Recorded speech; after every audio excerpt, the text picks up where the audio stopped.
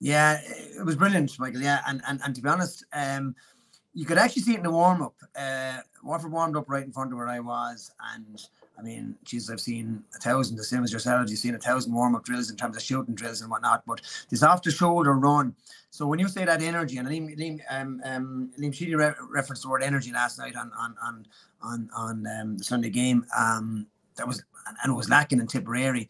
Um, it was in a tackle, but it was also in the support run. I mean, every team now is probably some playing a similar variation of the same tactic to some extent, at least. You know, everybody's trying to work that ball more around that middle third and you know um, trying to pick the right time to make the pass inside or shoot from distance like trying to work it into a position where you can shoot from midfield area far 65 or get it into the corners in the space everyone's doing some variation of that but what Waterford seem to be doing better than most at the moment, certainly better than Tip yesterday, was um, was the the off the shoulder run, bringing the ball into contact, taking the man out by actually bringing it into contact. So if I'm running at you and I'm I'm actually going right into the contact, I've taken that man out of the game. And as a man like Darragh Lyons in particular was brilliant at coming off the shoulder yesterday. And the second thing, as you say, then was the intensity of the attack. And those two things go hand in hand to some extent in, in, in my world because they overturn and then once they overturn you, they're actually going, there's players running at, at speed. Even the very first point of the game from Kieran Bennett was a perfect example of just, just the pace at which they were running at.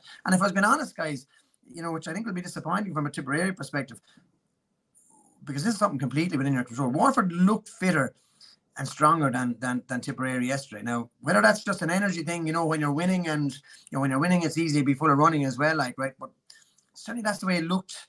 Uh, and, and, and, and, and, you know, I'm not suggesting for a second Tipper unfit, but I think Waterford have reached a supreme level of fitness that maybe it looked yesterday like Tipperary didn't have, couldn't match. Hmm. I was going to ask you, Fergal, um, what about these periods where Waterford dominated the game and were able to just up the intensity? So there was a period in the first half. Tip had started well. I think there were maybe something like 8 2 or 8 3 ahead. Waterford went on an eight minute stretch of scoring 1 6 to nothing. The final 20 uh, minutes of the game, Waterford scored 10 points. Tip only scored one, and they had only three shots during that period. Why is it you think that? The, do you think it's a physical thing and an athleticism deficit that allows Waterford to do that to Tip? Yeah, I I, I, I, think so. Um, I, I would also say though yesterday that like I didn't see the Antrim game now, but but I saw the, the, the Dublin game and um, you know, it, it, it, wasn't that easy against Antrim or it wasn't that easy against Dublin. I know Laois was a, a, a, different game completely and probably not too much could be read into that. But I have to say some of that you'd have to say was down to Tipperary as well. Um, if I'm being honest, Tipperary looked a little bit rudderless at times. So what I thought about Tipperary, which I'd say was this again, I don't man, I certainly wouldn't be writing off Tip for an All Ireland because you can never write off Tipperary. But you know, Tipperary looked like they lacked belief yesterday. Like, it, it, was when Waterford got on top, it looked like they had no response, and that's not something you typically associate with Tipperary. Any of the traditional counties, when a team gets on top of you, generally speaking, you know they've they, they, they've they've enough belief in themselves based on tradition largely, um, not to.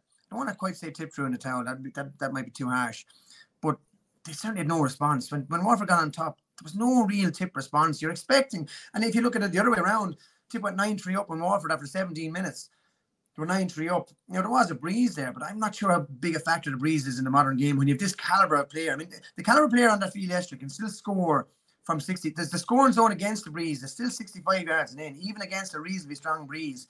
Now, I know the scoring zone is a bit farther than you can score from the half backs if you the likes of your Jim Burns and your Callum Lyons and all that. They can, they, and, and here in the Déise, even for ourselves, you can score from your half back and with the breeze. But nonetheless, in the modern game, every team should be able to work the ball to the, the at least to the midfield, far 65, uh, your own 65, far 65, and shoot from there, even against the breeze. The point being is that you know when when when when uh, when Tip got on top of Waterford, Waterford uh, at nine three up, albeit playing with a strong breeze, Waterford responded and you know didn't look like they knew what they were doing. Looked like even even when they went nine three down, you sense that Waterford didn't look like they were in trouble here.